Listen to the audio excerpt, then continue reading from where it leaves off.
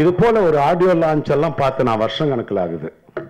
அதே மாதிரி சித்ரா சார் சொன்ன மாதிரி நம்ம சொந்தங்களை எல்லாம் பார்க்குற ஒரு அற்புதமான ஒரு விழா இதெல்லாம் இங்கே வந்தால் மனசுக்கு ஒரு அவ்வளோ திருப்தியாக இருக்குது அம்மா வந்து மீனாட்சி அம்மா வந்து நல்ல எனக்கு யாரும் கவரிங் செயின் கொடுக்கல இந்த படத்தில்.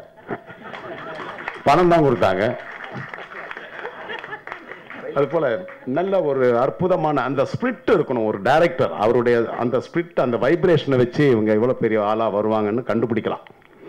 சினிமாவில் வந்து எல்லாமே கஷ்டமான தொழில் தான் எல்லாமே கஷ்டம்தான். யார் ஒருத்தர் அதை இஷ்டப்பட்டு கஷ்டப்படுறாங்களோ அவன் தான் பெரிய ஆளாகிறாங்க அது போல எல்லாம் அற்புதமான வார்த்தை ராமதாஸ் சார் எல்லாமே நல்ல விஷயங்கள்லாம் இங்கே சொன்னாங்க. முக்கியமாக பாடல்கள்லாம் பார்த்தீங்க.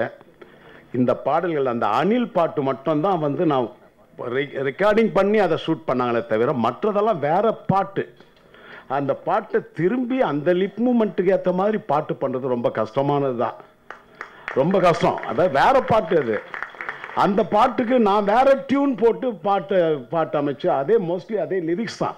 அதை வச்சு வேற ராகத்தை போட்டு அதில் செட் பண்ணது ரொம்ப கஷ்டம். அவ்வளோ அழகாக அவர் படம் பண்ணியிருக்காரு. அனில் பாட்டும் கேட்டோம் ரொம்ப நல்லா இருக்குது அற்புதமாக பண்ணியிருக்காங்க சார் அபிராம் சார் சொன்ன மாதிரி அது ஃபோட்டோகிராஃபி ரொம்ப ரொம்ப நல்லா பண்ணியிருக்காங்க குளுமையாக இருக்குது படம். அதில் அனிதாவை பற்றி சொல்லணும். ரொம்ப ஒரு துரு ஒரு அதாவது எய்ம்ன்றது வந்து ரொம்ப முக்கியம். அது தான் நினைக்கிற ஒரு வேலை நான் நினச்சி ஆசைப்படுற ஒரு வேலை நமக்கு கிடைச்சிட்டாவே போதும். அதுதான் நம்ம செஞ்ச பாக்கியம். அது மாதிரி அனிதா நடிகையாகன்னு ஆசைப்பட்டாங்க. நல்லா இப்போ நடிக்கிறாங்க நிறைய அஞ்சாறு படம் நடிச்சுக்கிட்டு இருக்காங்க இப்போ. அதே மாதிரி ப்ரொடியூசர் சார் சொல்லணும் ஐயாவை சொல்லணும்.